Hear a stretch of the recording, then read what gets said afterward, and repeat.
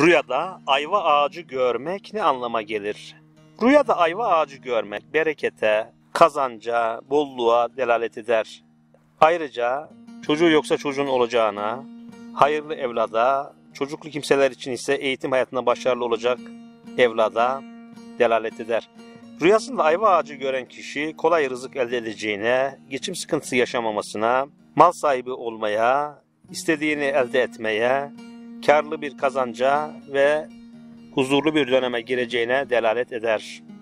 Rüyada ayva toplamak ise çıkılacak bir seyahate işaret eder. Rüya sahibi kişi yakın zamanda iş amaçlı seyahatte bulunacağına, işiyle ilgili uzun yoldan kimseleri misafir edeceğine delalet eder. Rüyada ayva ağacını kestiğini görmek ise kendisine kötülüğü dokunan bir kişinin artık gerçek yüzünü göreceğine, daha fazla zarar vermesine izin vermeden kendinden uzaklaştıracağına işaret eder.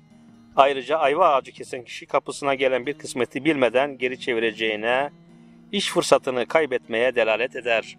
Rüyaların en doğru yorumunu yüce yaratıcı bilir.